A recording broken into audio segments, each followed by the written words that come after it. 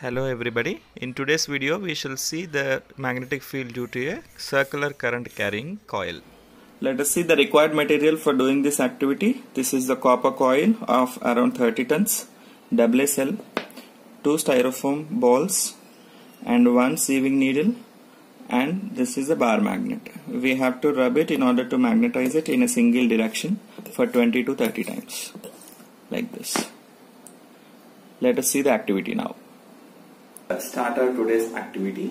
We have taken a current carrying coil. This is a circular coil. The circular coil has around 30 turns. Now the two ends of the coil are free. These are the two ends of the coil. In the center I have suspended one uh, stainless steel uh, needle. This is magnetized already. I'll show you how to magnetize the needle later. Now if we pass some current into this coil by connecting the two ends with the ends of the battery we shall see the deflections in the for easy identification of this two terminals. Let me take two styrofoam coils which is red and blue in color. Now I am just uh, keeping it to the two edges of this magnetized needle so that we can see the deflections very easily. Right now it is appearing clearly to us. Now let us check whether it is magnetized or not. Yes. Right. So this is north pole. Let's see this is attracting towards this red pole is attracting towards north. That means it must be south. Right? Now see this is south. This blue ball is attracting so this blue ball is north now we came to know that it deflects only when it is kept in the external magnetic field. Now let us find out when the current is passed through this coil of 30 tons whether this magnetic needle deflects or not. If it deflects it shows that this coil is also creating some magnetic field.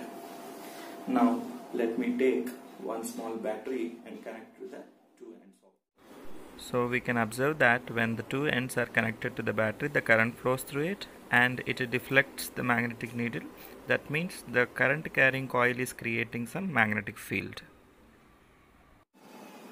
Now let us see the magnetic field due to the current carrying coil at a particular point on the axial line. So this is the diameter and uh, at a point distance x from the center of this coil is axial line. Let us say this is an axial line. Here we are considering the point P at a distance x from the center. Let us draw the diagram. Let us say this is the coil of diameter. Let us say the radius of this is A. And we are considering a point away from the coil at a distance x from the center. Let us say this is the point P which is at a distance x from the center right? Now in order to find out the magnetic field due to this entire coil we consider small elements of the coil and then we integrate the entire coil. So these uh, papers represent the small current coil. Let us say these two elements. So when we talk about a small element magnetic field due to a small element we use Biot-Savart's law. So according to Biot-Savart's law magnetic field due to a small element dB is given by mu naught by 4 pi I dl sine theta by r square where r is the distance between the current element and the point. Let us see what is the distance between this current element and the point from here to here it is very clear to us that it is forming a right angle triangle. So this is of the distance a square plus x square because hypotenuse square is equal to side square plus side square.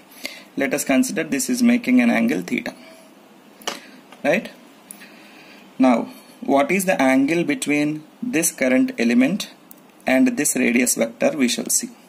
See this is the current element and this is the radius vector so when we see this axial line from here to here, the distance between these two, the angle between these two is 90 degrees. you'll see it is forming a T shape right? So whichever direction we move the angle between this current element and the radius vector is always forming 90 degrees. So theta is equal to 90 degrees here. Therefore you can write dB is equal to mu naught by 4 pi ideal sine 90 value 1 by r. Here r is nothing but under root a square plus x square whole square right? Therefore dB is given by mu naught by 4 pi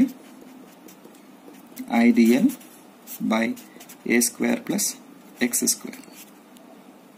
This is due to the point let us say this is point A.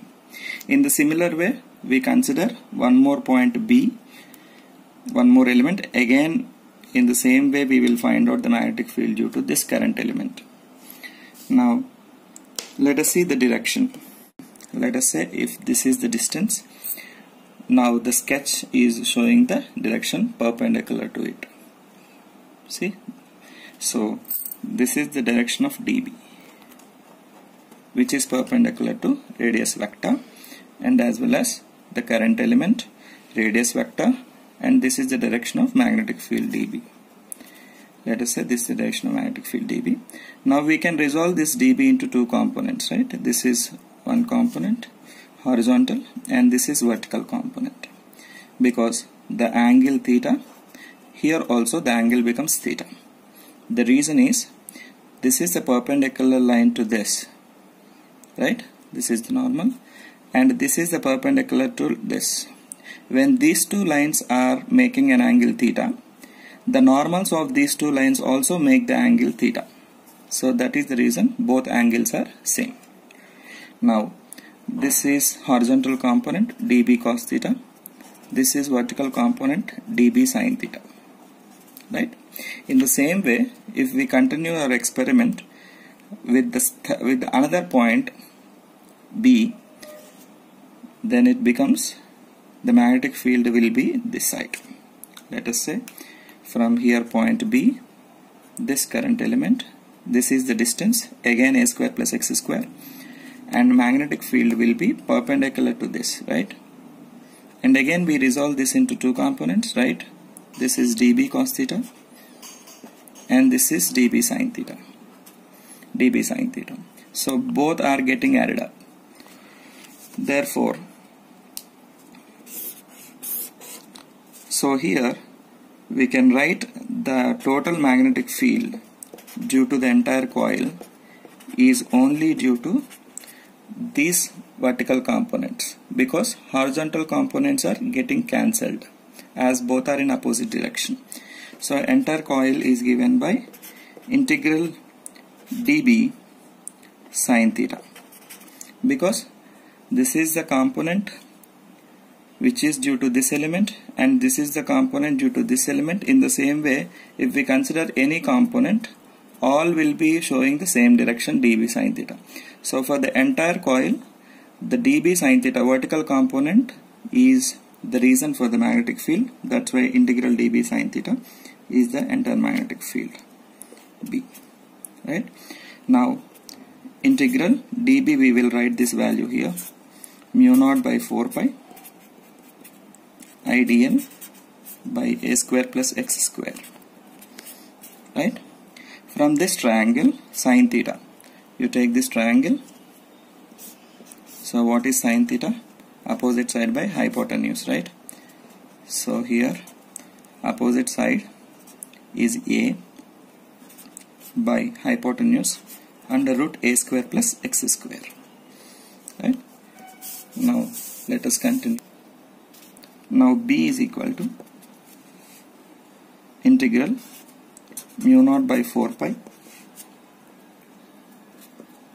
i dl a by a square plus x square whole to the power of 3 by 2 the reason is this is power 1 this is power 1 by 2 1 by 2 plus 1 becomes 3 by 2 right?